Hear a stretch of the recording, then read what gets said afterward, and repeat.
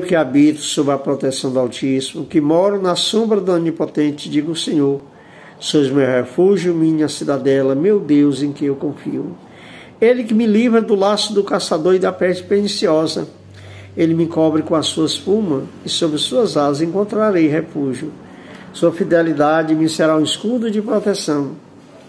Eu não temereis o terror noturno, nem a flecha que voa à luz do dia, nem a peste para praga nas trevas e nem o mal que gaza meu dia.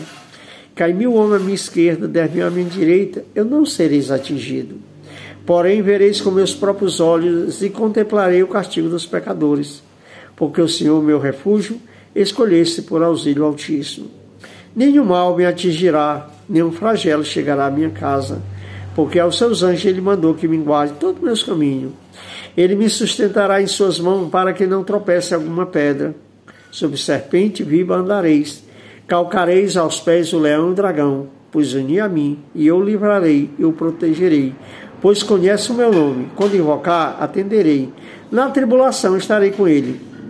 Hei de livrá-lo e comerei de glória, e serei favorecido por longo dia, e mostrar-lhe-ei a minha salvação. Curta, comente, compartilhe. Esta oração, Salmo 90, é uma oração de confiança na proteção divina. Por isso, reze, meu irmão, esta oração sempre.